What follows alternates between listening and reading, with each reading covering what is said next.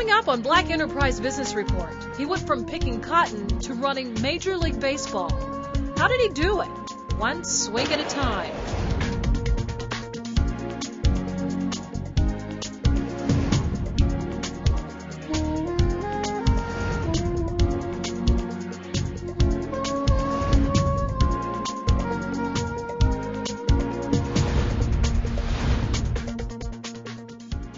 Welcome, and thanks for watching Black Enterprise Business Report. I'm Shon Gables. Today we'll help a newlywed couple make their marriage financially secure while giving you tips on love and money. Plus, he's a banker, radio station owner, and newspaper publisher. Learn from this man how to wear many hats and wear them well. And the Lux Life. We'll get a first-hand look at how the rich and famous travel in style. But first, baseball's big leaguers have answered to him for over a decade. Now, he's changing the face of America's pastime. Jimmie Lee Solomon is our power player.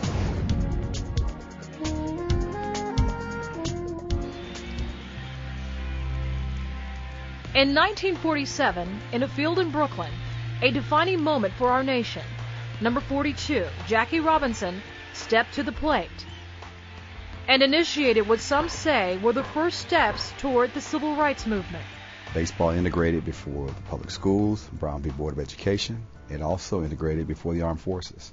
I mean, Jackie Robinson's uh, breaking the color barrier in baseball was a grand experiment that the entire society watched. Robinson's courageous act changed the face of sports and opened the gates for black athletes. But ironically, 60 years later, baseball is witnessing a staggering reversal of African Americans on the field.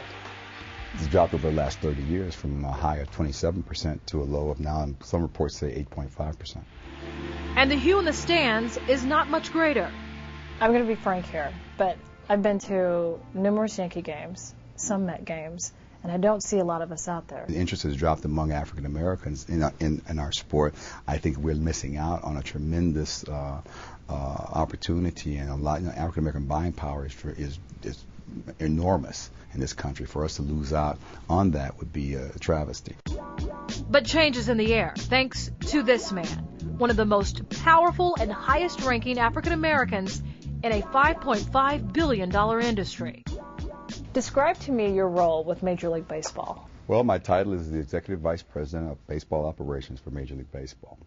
Basically, that means I oversee the game including rules and administration for Major League operations, both domestic and international, as well as 173 minor league affiliates with its 5,000 players. Solomon also handles security, umpires, scouting, on-field discipline, and the fall leagues, which play after the regular season is over. What's your favorite part about the job? That, that's kind of a tough one to answer because you know it's uh, not. I would say payday is a great day. And you know, I'm glad you brought that up because we often it's often publicized the the salaries of your athletes. Mm-hmm. You you clearly have a position where you hold a lot of influence and and lay the lay of the land out for this game. What are you making? What am I making? Mm-hmm. Well, you know, I'm, I'm making just enough to be able to come here and to serve baseball in the capacity of a leader. So you're you're not going to reveal the salary. I was never very good in math. Let's try to figure it out. That's, you know, I was better in English uh-huh. in history class. I didn't well, do very well. so does the acronym RBI ring a bell? It's actually Solomon's urban initiative called Reviving Baseball in Inner Cities. At a price tag of $1 million per year, it promotes baseball in over 200 cities worldwide. Plus, he's allocated 10 million to build urban youth academies in Compton, California and Atlanta, with the promise of six more in Boston, Houston, Arlington, Texas, Miami, Philadelphia, and Washington, D.C. The academies don't just have an athletic uh, training component, but they also have a vocational component as well as an educational component. Because some of the kids won't be baseball players. Some of the kids will need a scholarship to go to school. Some of the kids might be uh, interested in being umpires groundskeepers, scouts, or coaches. So we've got to make sure that it's accessible to all these kids, especially the African American population that we're talking about. But you have players who have extremely high profile that are African American. Are, are they helping with your initiatives? Um, you got Sheffield, you've got uh, Jeter. I would say that uh, Derek Jeter has a, a, very high profile.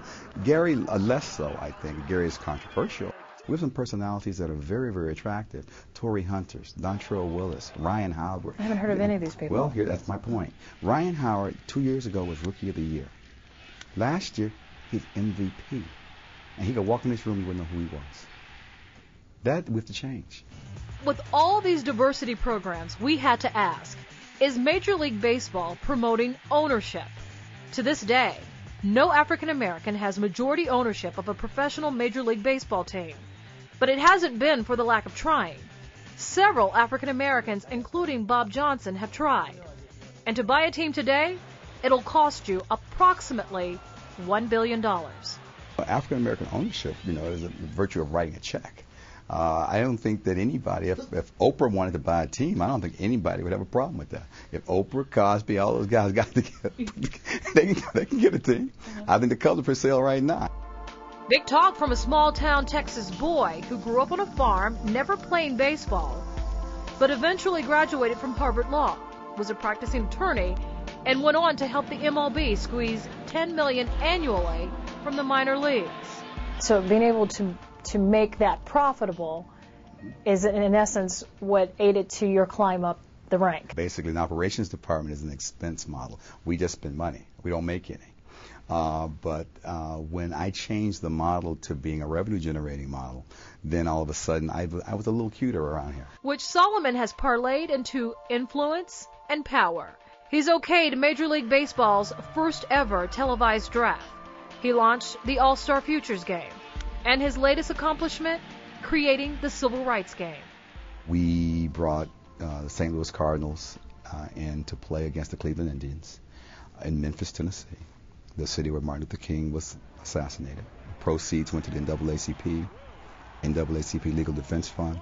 I am happy to have this opportunity. I, I, I like to think that uh, other kids who uh, grow up and look a little bit like me say I have a chance to, you know, coming uh, into baseball, or into football, into basketball, any sport, into corporate America. And I think that uh, in a, as in a leadership position, uh, I I have to, I have an obligation to, to make sure that uh, African Americans get the opportunity to to play our sport, uh, to work in our sport, and to uh, have access to our sport.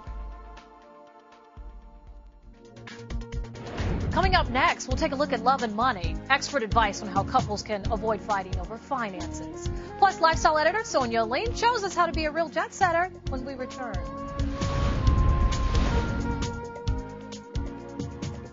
The Black Enterprise Business Report is brought to you by Toyota, a great way to keep moving forward.